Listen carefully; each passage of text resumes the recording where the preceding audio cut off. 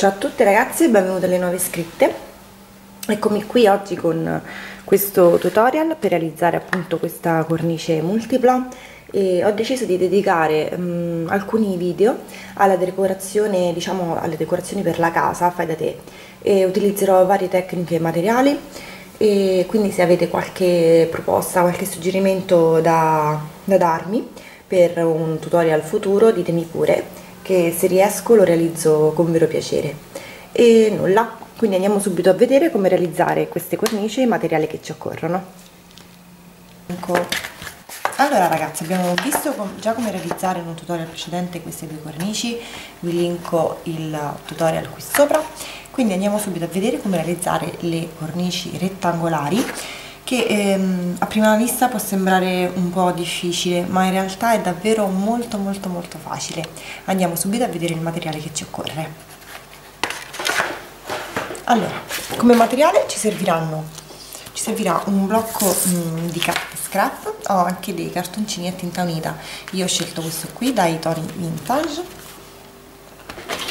Poi ci serviranno matita righello dotter e forbici. Biadesivo colla a caldo. Una taglierina oppure un semplice taglierino. E degli abbellimenti vari a piacere. Andiamo subito a vedere come realizzare la nostra cornice. Allora ragazzi abbiamo bisogno di un foglio o un foglio di carta scrap o anche un foglio di formato rettangolare a 4 più grande non importa. Allora come prima cosa andiamo a toglierci 5 cm da un bordo.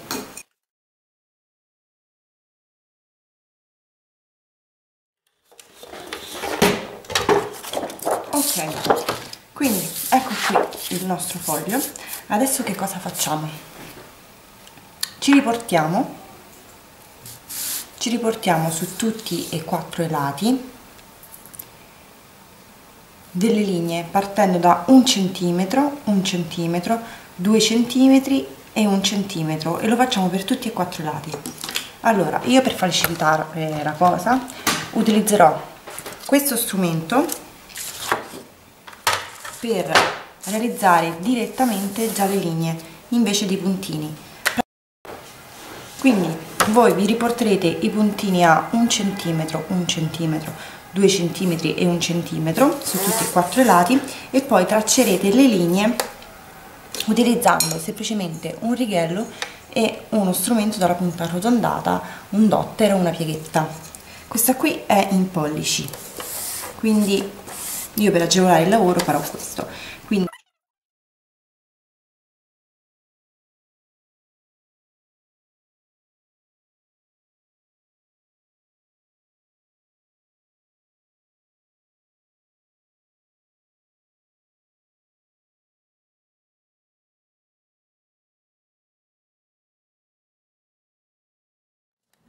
Qua.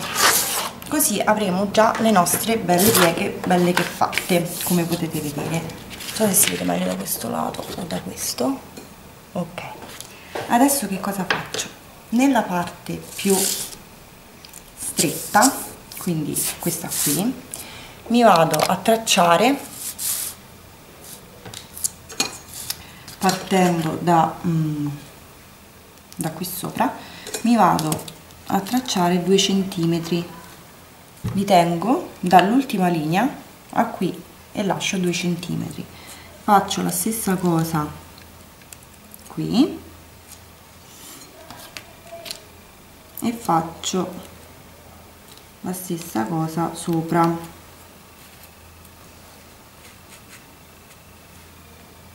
Ok quindi avrò questi miei due puntini questi quattro puntini e vado a unire le linee. Così. Così. E poi le vado a unire anche qua.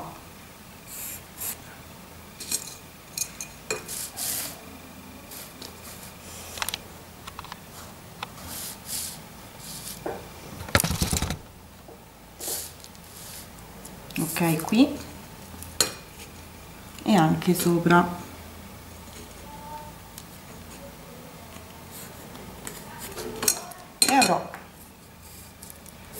questo disegno qua.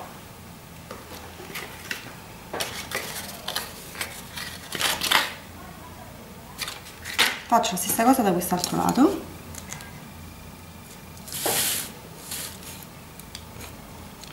Unisco i punti.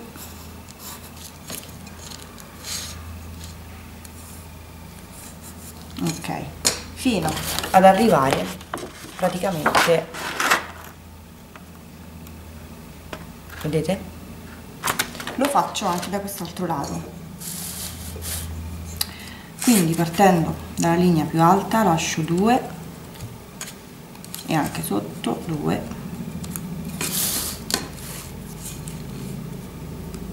2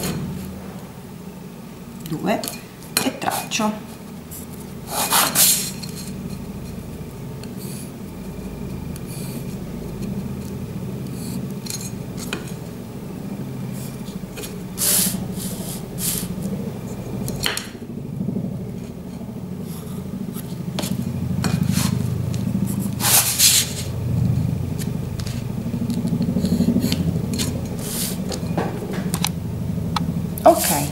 quindi avrò.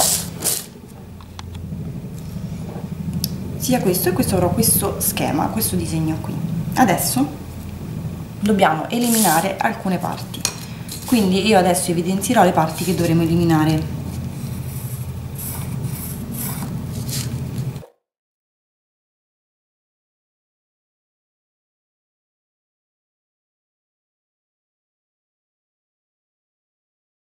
Eccoci qua allora quindi dovrò eliminare questo rettangolo e questa parte in tutti e quattro i lati. Vi faccio vedere.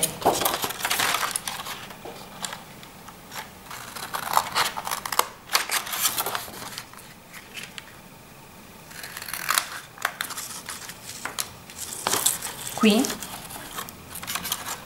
taglio fino a dove ho tracciato la linea quindi fino a questo a questo incrocio e poi taglio questo che ho realizzato con la matita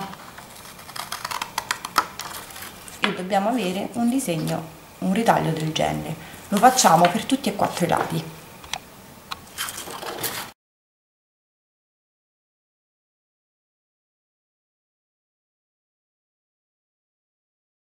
Volta tagliato dobbiamo soltanto piegare seguendo appunto le linee che abbiamo tracciato.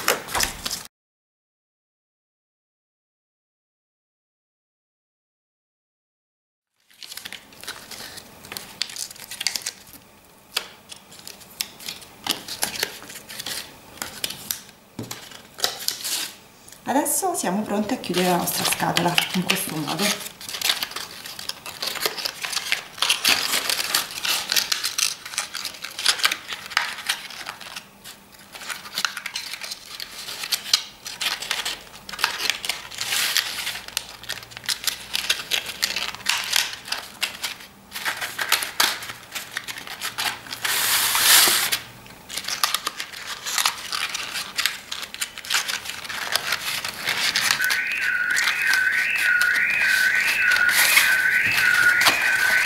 ed ecco qua la nostra cornice fatta.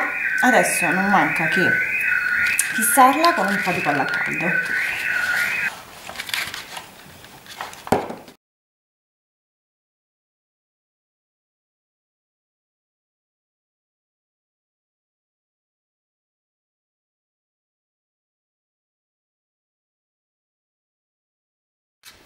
quindi ragazze eccoci qui con la nostra cornice. È stato davvero molto semplice come avrete potuto vedere.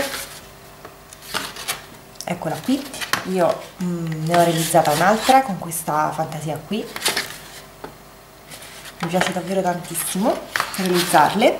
Andiamo a vedere quindi prendendo anche queste due una composizione che possiamo fare ok? Quindi io ho pensato di mettere prima questa subito dopo questa così. Così. Sotto questa. E poi lateralmente questa qui. Diciamo una composizione classica di quelle che si vedono in giro tranquillamente. Quindi mh, mm, dopodiché possiamo procedere quando abbiamo deciso quale sarà la nostra composizione possiamo procedere ad incollarle e poi successivamente a decorarle. Allora io vi consiglio di utilizzare per incollarle del nastro biadesivo o della colla a caldo. Per incollarle io utilizzerò la colla a caldo. Poi dopodiché di una volta incollate potremo passare alle decorazioni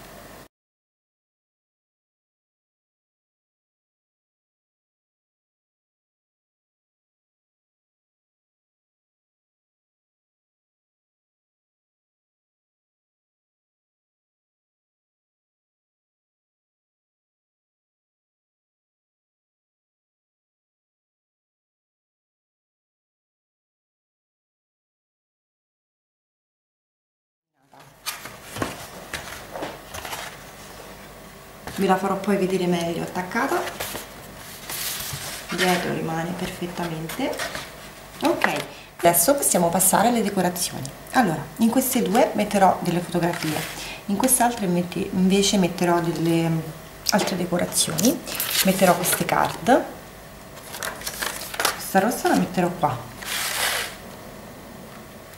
con altri vari abbellimenti. Per fare questo utilizzerò mm, il nastro biadesivo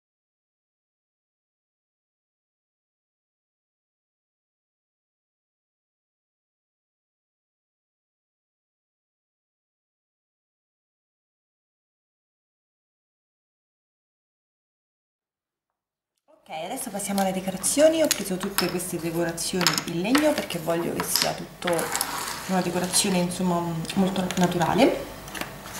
Adesso le vado a distribuire